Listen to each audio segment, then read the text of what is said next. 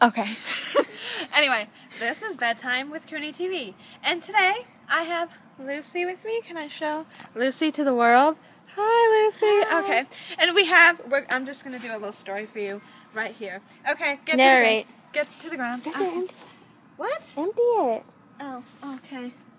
Dee, dee, dee, dee, Cleaning out the toilet. Okay. Get out here. Here's the toilet.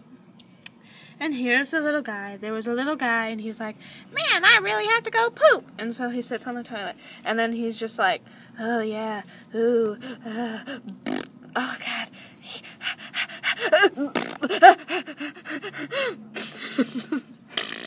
Ah, and then he said, "Ooh, it's time to wipe my booty." So he just took this and he was just like, "Oh yeah, wiping the booty, wiping the booty."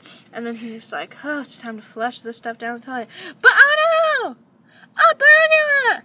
Give me all your money. I'll never give you my money. Lick my butt. oh, that's so delicious. Come here. No, don't lick my butt. And it's over. We'll never know what happened.